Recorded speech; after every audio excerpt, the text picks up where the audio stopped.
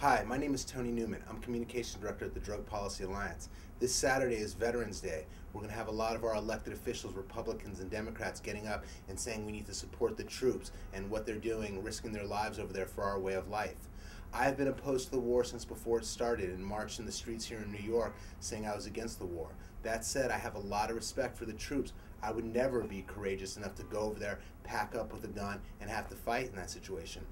One thing I've hypothesized is what is it going to be like for these troops after a year or two or three of being shot at, shoot, having to shoot others, seeing your friends uh, killed in your arms? I can only imagine how traumatic it will be.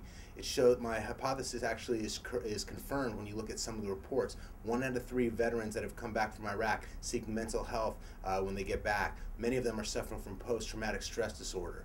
One thing I've thought they will probably end up uh, self medicating like so many of us do in our society. After everything they see, they may turn to drugs or alcohol to try to numb the pain. What are we going to do when these troops come back and are, are self medicating due to drugs? We already have prisons that are filled up 500,000 people locked up behind bars, most of them for nonviolent drug offenses. Are we going to now add the troops into this mix? It's very easy to put a bumper sticker on a car saying we support the troops, but if we're going to walk the walk, we have to offer compassion and treatment to people that are self medicating, to dealing and healing with the traumas of war. Whether you're Republican or Democrat, whether you're for the war or against the war, we need to support the troops and offer compassion and treatment instead of incarceration. My name is Tony Newman. I hope you join us. Go to drugpolicy.org. Thank you very much.